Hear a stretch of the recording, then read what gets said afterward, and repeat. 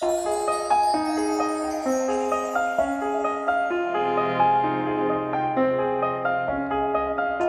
morning cold and raining dark before the dawn could come. How long in twilight waiting, longing for the rising sun.